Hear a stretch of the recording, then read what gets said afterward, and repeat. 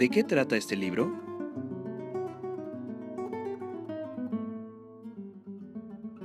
Eh, Empresas y Finanzas del Exilio trata de hacer una aportación a la historia de aquella España a la deriva que representó el exilio republicano español de 1939 partiendo de un profundo interés por un capítulo central de la historia contemporánea de España, como es eh, la Guerra Civil Española de 1936 a 1939, nos adentramos en una de las más duraderas de sus secuelas, como fue el exilio de varios millares de personas eh, que se prolongó durante décadas. Eh, este exilio ha desarrollado una bibliografía abundantísima a lo largo de, los últimos años, pero en, justo en los últimos años se está desarrollando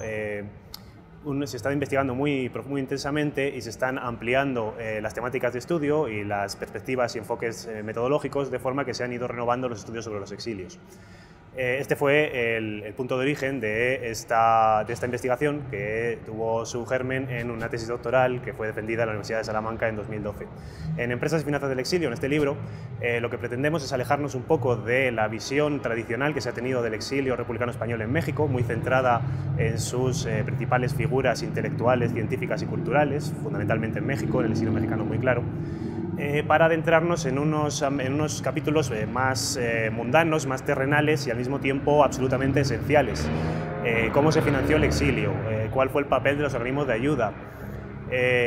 ¿Cuántos fondos contaron para su financiación y para su funcionamiento? ¿Cómo se gestionaron estas cantidades? Pues son algunas de las preguntas que tratamos de dar respuesta en este libro y que no han sido hasta ahora satisfechas totalmente por los historiadores. ¿Cuáles fueron los organismos de ayuda a los republicanos españoles?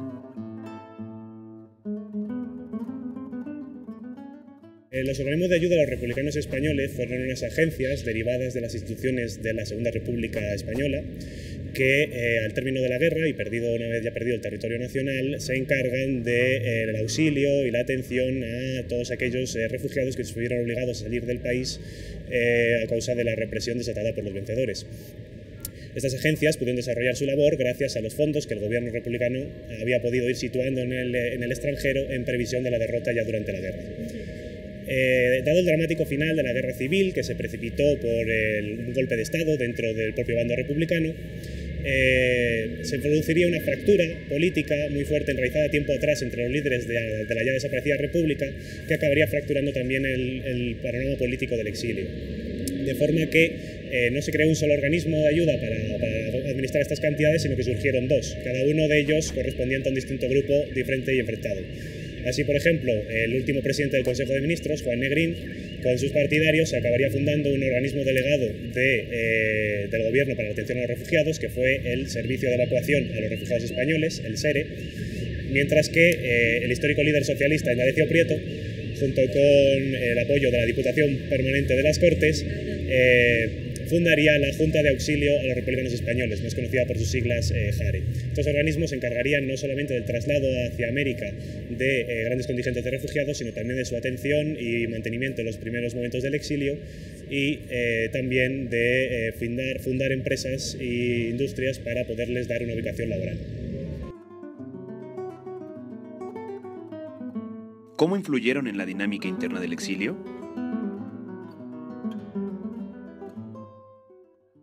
La influencia de estos organismos eh, fue fundamental en la dinámica interna del exilio.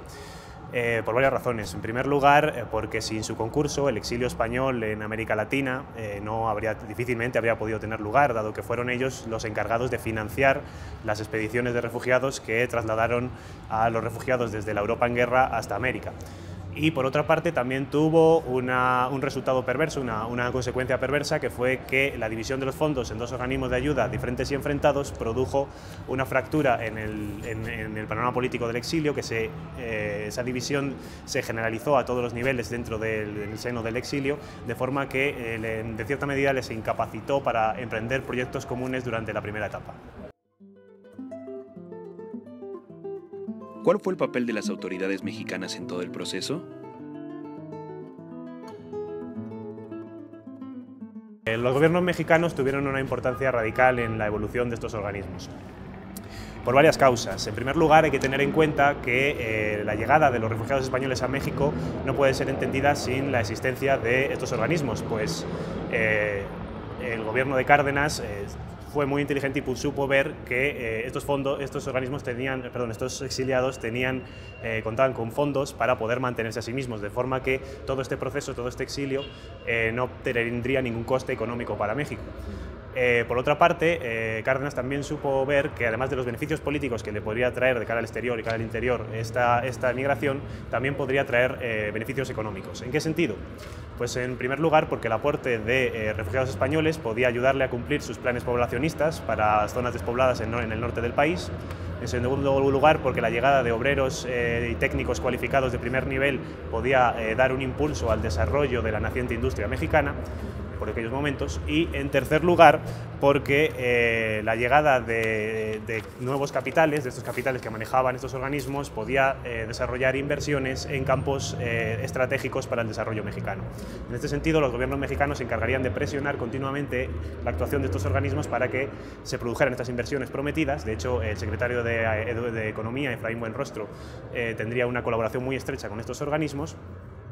y eh, por otra parte, una vez ya en el sexenio de Ávila Camacho, continuarían las presiones ya no tanto en el sentido de que se realizaran inversiones, pues eh, ya se había visto que la mayor parte de las empresas fundadas habían resultado en un solo fracaso,